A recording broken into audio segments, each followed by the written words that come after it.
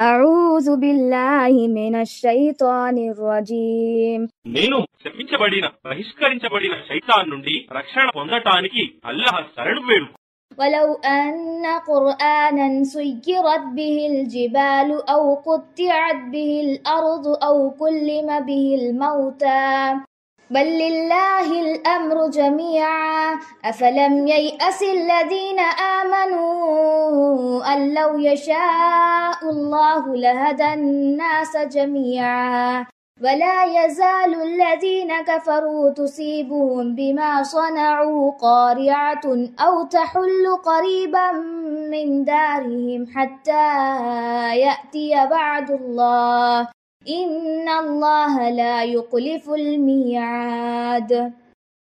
మరియు నిశ్చయంగా ఖురానును పఠించటం వలన కొండలు కదిలింపబడినా లేదా దానివల్ల భూమి చీల్చబడినా లేదా దానివల్ల మృతులు మాట్లాడేటట్లు చేయబడినా అవిశ్వాసులు దానిని విశ్వసించరు.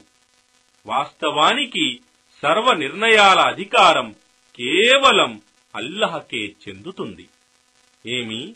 ఒకవేళ అల్లహ కోరితే సర్వ మానవులకు సన్మార్గం చూపేవాడని తెలిసి కూడా విశ్వాసులు ఎందుకు ఆశ వదులుకుంటున్నారు? మరియు అల్లహ వాగ్దానం పూర్తి అయ్యే వరకు సత్యతిరస్కారంలో మునిగి ఉన్న వారిపై వారి కర్మల ఫలితంగా ఏదో ఒక ఆపద కలుగుతూనే ఉంటుంది. లేదా అది వారి ఇండ్ల సమీపంలో పడుతూ ఉంటుంది.